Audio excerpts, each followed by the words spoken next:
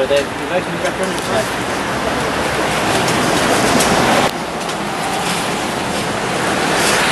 Morning, then. Have you voted yet?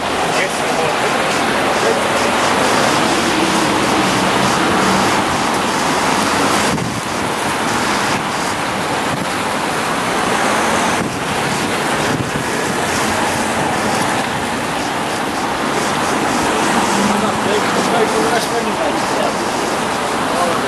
No vote. Case to no vote. Thank you.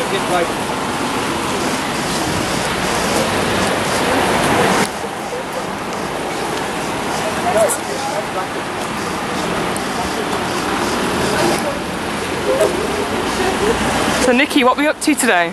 Well, we're here in just outside a, a town outside Dublin called Naas, and um, the weather's fantastic as you can see. Um, but we, we've, we've been leafleting all morning in water. We started off in Waterford and we've got rid of thousands of leaflets there. And we're, we're now just, you know, making our presence felt and uh, we've not, a- not a bad reaction actually. Probably not as good as we had in other places, but still a quite a positive reaction. Are you voting staying to the referendum? well, not one there. But um, yeah, so I'm, I'm quite hopeful actually because you know if everyone that says um, if what we the reaction that we've got off people, I think we might be looking forward to a, a no vote today.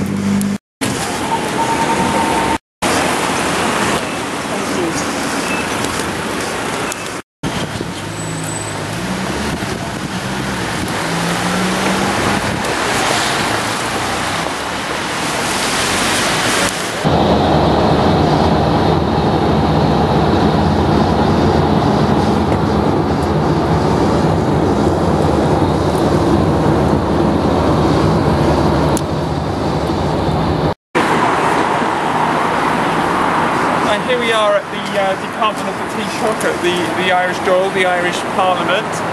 Um, but just like all the other parliaments across the European Union, in Westminster included, it doesn't really rule the people of Ireland. Um, you know, that they gave up their sovereignty when they joined the European Union, the common market as was then with the UK in 1973 and now it's just a, it's kind of almost like a ghost parliament because the real laws are being made in the European uh, Union, more, more importantly in the Commission, the unelected Commission. And this week, the, today, the people of Ireland have been asked to vote on this austerity treaty, which is going to hook them hook, line, and sinker into the European Union. They're going to become nothing more than a puppet of Angela Merkel and her German successors. It's really not what the Irish people really want. They've been they've been lied to by their politicians, and it's getting worse and worse and worse. And I'm hoping today that what we, the Irish people have spoken to us. They've said to us they'll be voting no, and we're hoping today for a no vote for the benefits so Ireland can claim their sovereignty back and rule themselves. It's what, what the Irish people really want.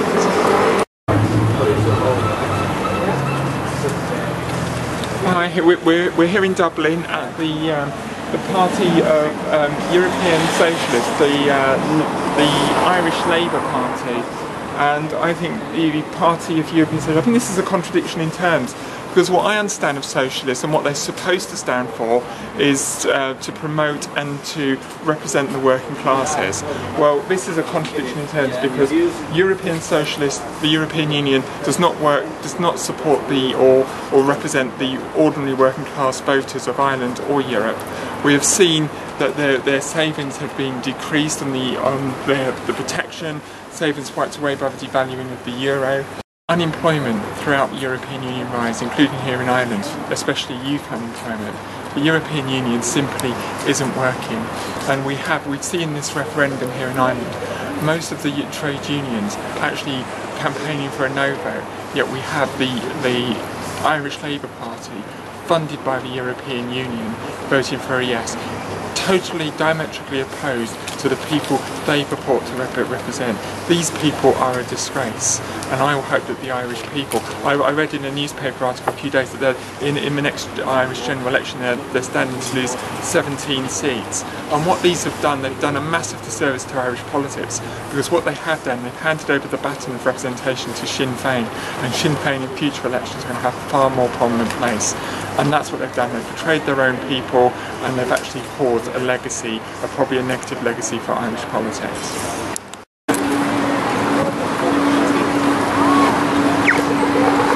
Thank you.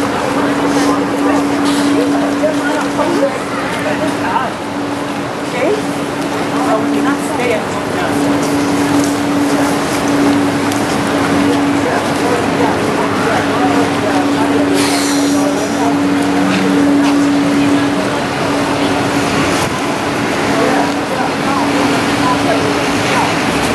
good vote.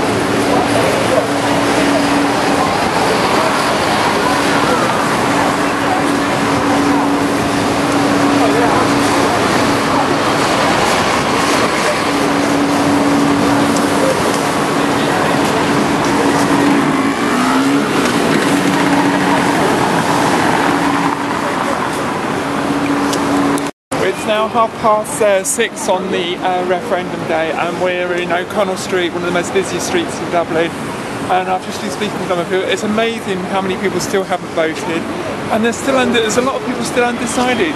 Um, they they feel a bit of pressure to vote yes because all their politicians are telling them, and that, that you know that there has to, there's only prosperity if they vote yes, but they really want to vote no.